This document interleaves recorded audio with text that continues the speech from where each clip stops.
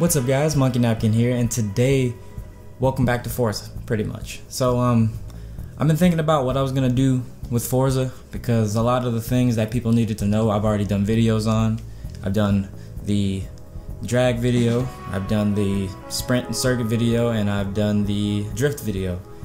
So I've pretty much done most of the things that people wanted to see. I've done the money you know, best way to make money and stuff like that. There's new ways now. I might do one of those videos if people want to see that.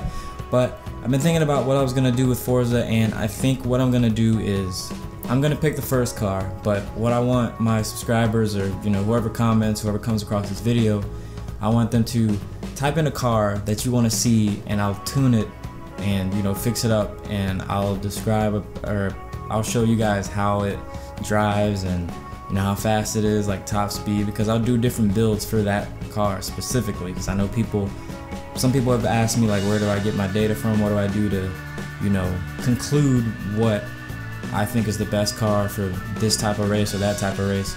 So that's what I'm going to be doing in these videos. So I'm going to pick the first car, which I have to buy. So I'm just for the simplicity of the video, I'm just gonna pick the first car, the Abarth 695. Also, this is gonna be a short video, it's not gonna be very long. I just wanna kinda make this video so you guys understand what I'm gonna be doing with Forza videos. And if you guys have any other ideas of what to do for Forza videos, because like I said in my last video on Plants vs. Zombies, I did want to do like a big, you know, subscriber, like online adventure or like an online free roam, something, you know. I wanted to do that, but for now, this is what I think I'm gonna do. So if you guys have any other ideas of what kind of videos I can do relating to Forza, comment below. That'd be awesome. Also, if you like this video, please leave the like. Really appreciate it. And I just hope you guys enjoy the series. I guess I'll call it a series for now. But I hope you guys enjoy it. And let's get into it. But pretty much, I'm gonna make this like a normal circuit race kind of car. You know, get all the upgrades that you you know you should have in terms of handling, uh, since it's going to be like kind of a circuit race, a lot of these cars are actually pretty fast. So it's actually better to just work on handling because a lot of the faster cars don't have the best handling. It's actually pretty good to go for handling. You know, with the tuning and stuff like that, then you'll kind of figure out what you want or what you need in order to increase your speed, you know, through tuning and stuff like that. We're going for the handling right now because the Abarth 695, the Posto, or Posto, I have no idea. But for this kind of car, you know, it's pretty compact, so handling won't be that big of a deal, honestly. Now you can start worrying about more of the engine and getting the top speed and the acceleration that you want. Wow, this goes all the way up to S1. That's crazy. but I think we got all the I think we got all the upgrades, so what I'm gonna do is I'm gonna equip everything and then we're gonna go out and do a race. We're gonna do a race. Alright, so let's see what race we'll do. We'll just do like one of the first races. From off-road, it's actually pretty, it's not bad.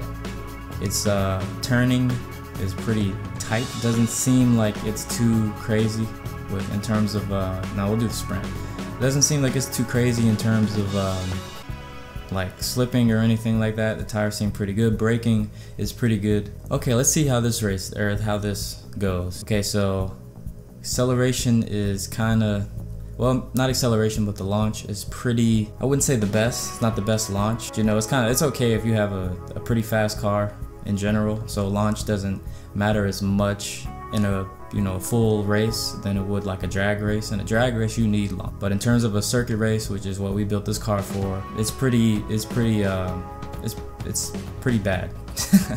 it's pretty bad. But this is also without tunes and stuff. I, I will do the tunes probably in another video because I'm, I'm pretty short on time right now. But I just wanted to, you know, give an example of what I'm going to be doing in the future videos for Forza Horizon, unless you guys think of another idea.